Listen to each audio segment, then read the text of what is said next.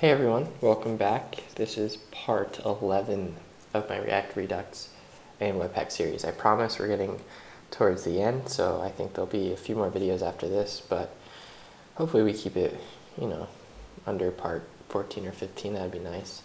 In my last video, we learned how to separate our reducers into multiple reducers that handle separate parts of the state tree and then get combined together.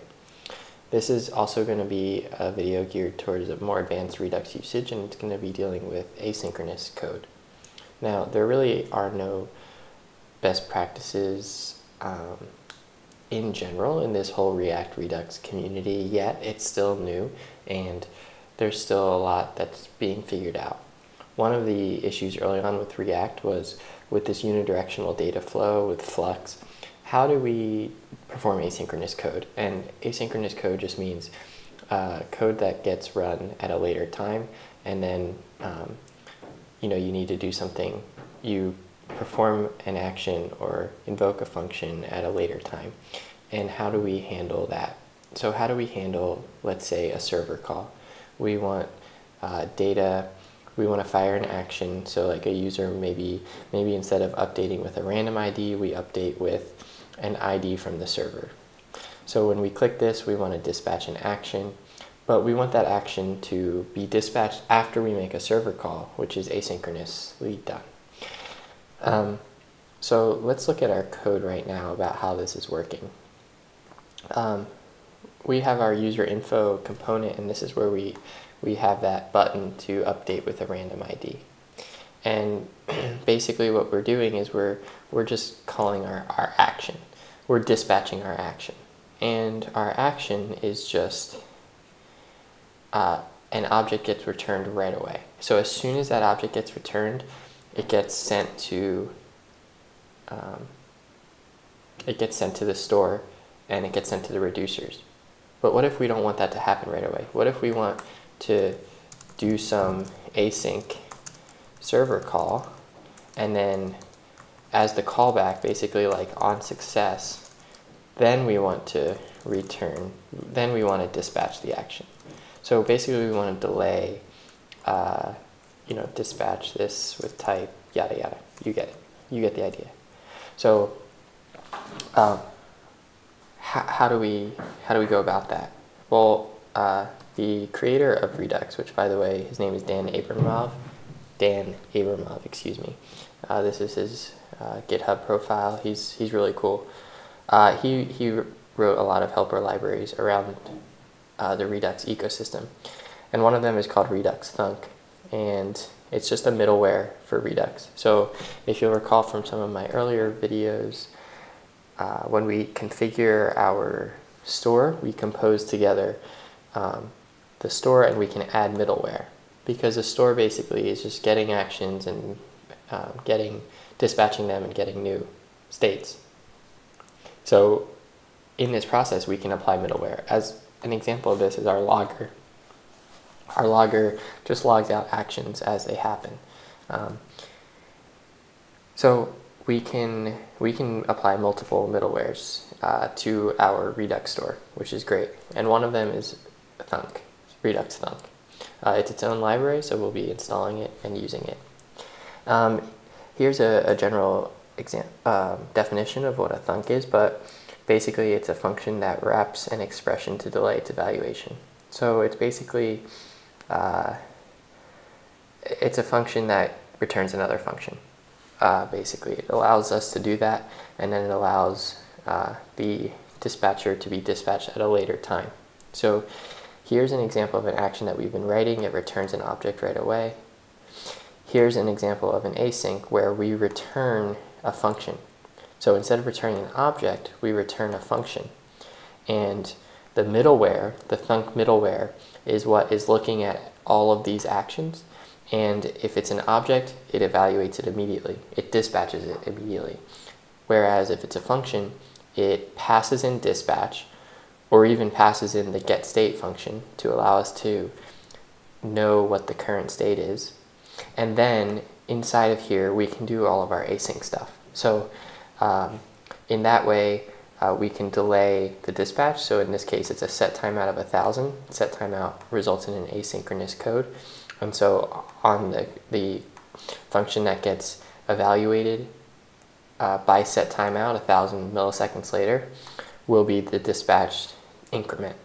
And this is just a way of, uh, we don't have to write the object in here. We just dispatch the immediate uh, action creator down here. Um, the other example here is we want to only dispatch based on the current state. So we want to check the state and we want to check the counter property on state. And if it's uh, if it's even, we just return out. We don't dispatch anything. And if it's if not, then we dispatch our, our increment thing. So let's uh, introduce some pretty contrived examples where we do use set timeout, but this is a great example for how you would do a server call. And I'll talk about that a little bit when we get there. And maybe we'll do one where we check, check the state or something like that. So, uh,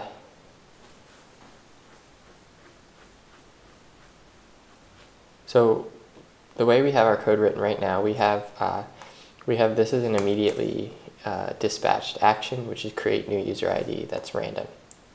Um, let's let's kind of follow this example um, where uh, we will increment. Um, we'll have one uh, action that that gets a new user ID only if the current user ID is an even number.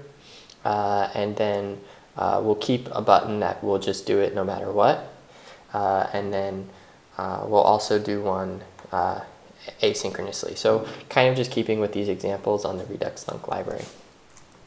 So the first, first thing we can do is we can go ahead and npm install save Redux Thunk.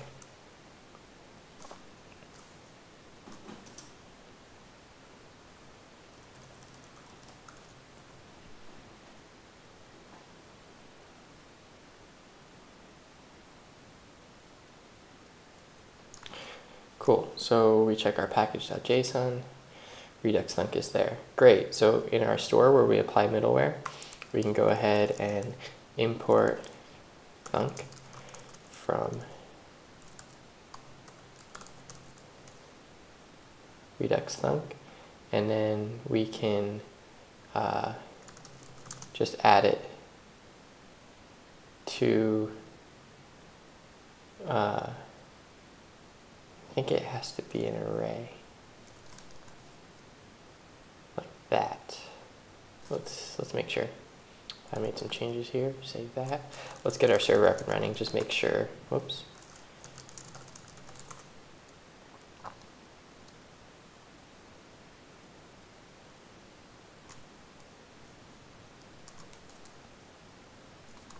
Nope, something's wrong. Middleware is not a function.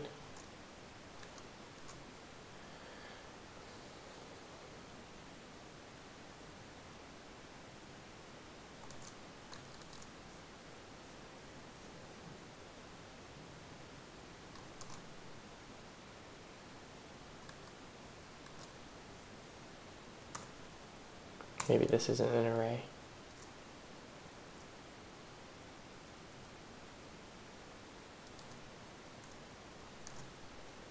Yeah, okay. So when you apply, the apply middleware it doesn't take in an array, it just takes in a list of middlewares. Cool, so we've got Thunk up and running. Um, so now basically anytime an action comes in, the, the Thunk middleware is going to see if it's just an object or just, or a function.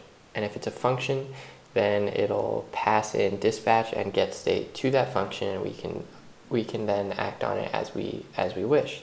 So let's make uh, create new user ID if odd. So this is going to be a function that is going to, instead of returning an object, it's going to return a function. And that function is going to get the dispatch and the get state uh, functions from the store. Whoops. And what we want to do then is we want to pull out um, user. So this is kind of like that import syntax. Uh, constant user equals uh, get state. Is that how he did it? I'm kind of cheating here. Yeah, so it, this syntax allows us to pull out uh, the user property of the state, which will get returned from here. Uh, we then, um, missing comma here, get rid of that error.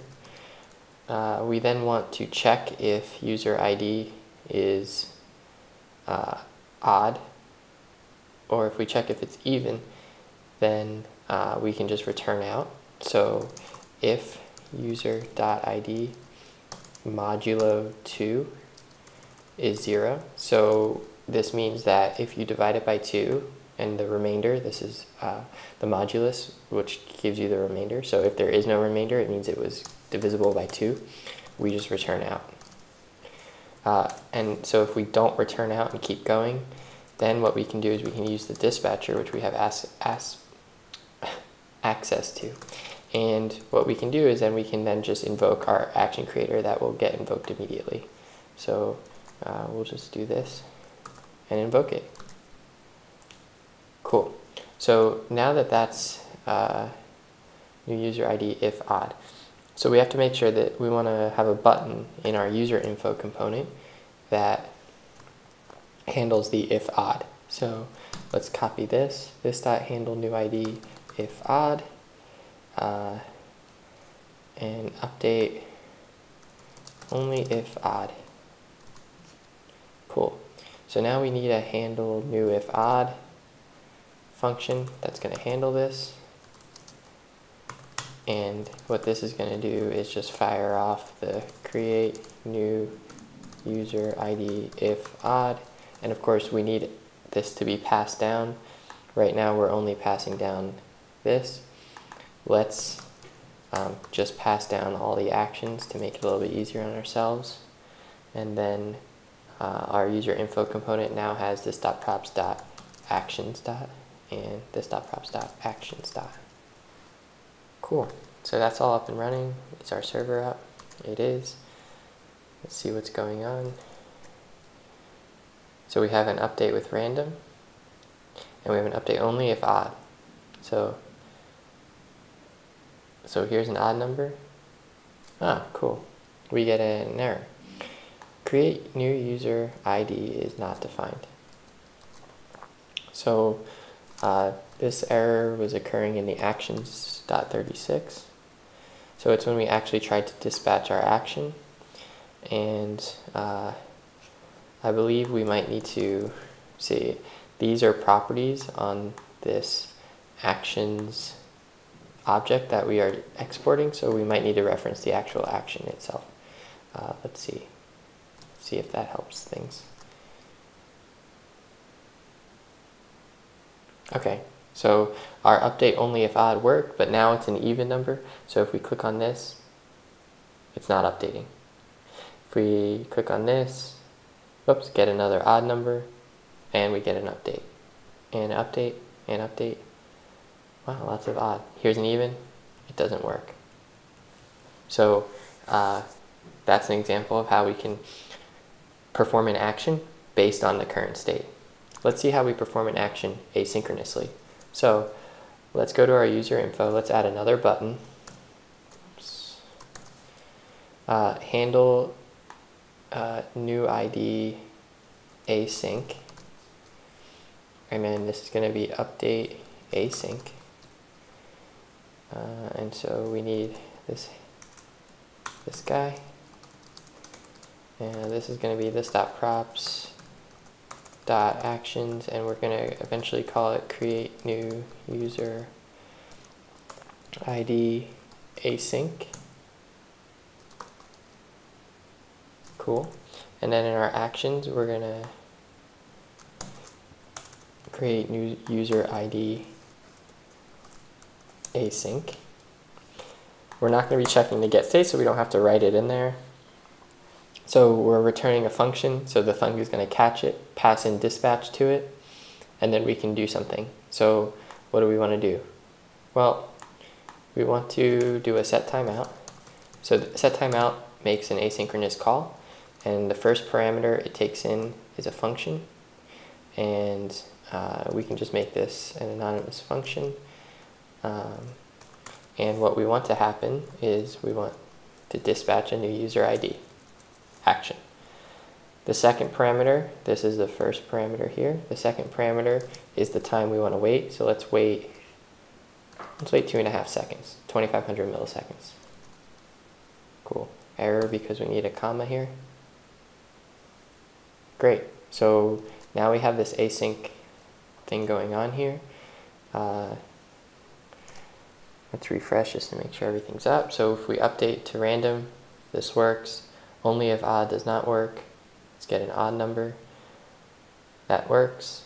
Now let's see update async. I'm going to click it and we'll see if in about two seconds it updates. Cool, we get an error. Cannot read property actions of undefined in user info. Uh, line 14. Ah, this dot prop dot actions. Cool. So save that. H uh, the um, hot module reloaded. Let's see. Click. Boom. About two and a half seconds later. Click. One, two and a half. There you go. So that's the Redux Thunk library, and these are pretty trivial, contrived examples, but how you'd want to use this moving forward is this would be used as a server call. So this would return dispatch, and then instead of doing a set timeout, uh, you would do something um, like a server call. So you would do like some type of uh, AJAX or some type of GET request um, with some URL, and then you know um, takes in like I, I forget the exact syntax, but you'll have a success uh, handler, and this will be a function that gets fired whenever there's a successful server call.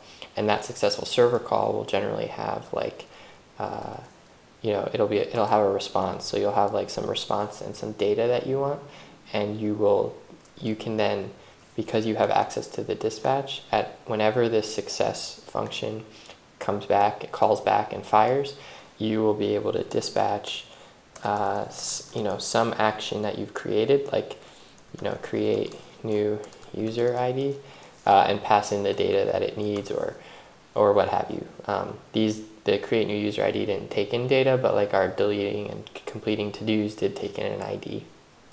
And so that's how you would make a server call uh, before you actually dispatch an action. Cool, so that's, uh, let's get rid of this uh, yeah, so that is it for this video. This was all about uh, Redux Thunk middleware. In my next video, I will talk about styling, how to do it, and what are some uh, best practices, uh, if there are any. And then in the video after that, we'll deal with development and production environments with Webpack and all of this stuff. So until then, enjoy and see you in a bit.